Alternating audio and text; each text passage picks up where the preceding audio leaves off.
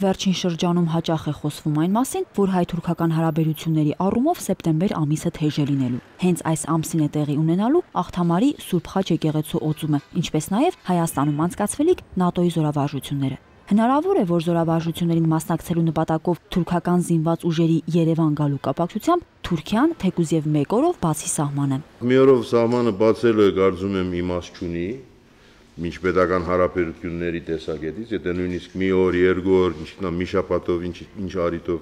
ինչ որ արիտով եթե բացվեր, եթե Թուրքիայում կլինեն քաղաքական ուժեր իշխանություն, որը իսկապես առանց նախապայմանի պատրաստ է Հայաստանի հետ հարաբերություններ հաստատել, իսկապես առանց նախապայմանի,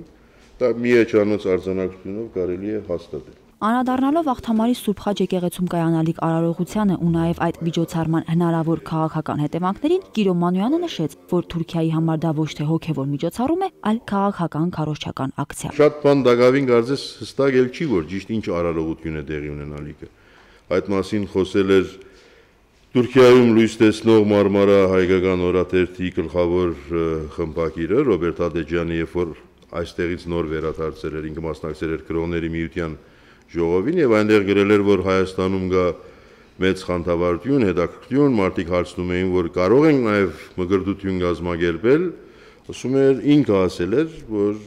իրականում այդքան էլ բարձ չի տակավին, որ ճիշտ ինչ արարողություն է դեղի ունենալիքը եւ ուրեմն կարելի չէ ինքը չէր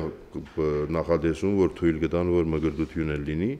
բայց իսկապես բարձ չէ, որ արարողություն ասվածը ինչ է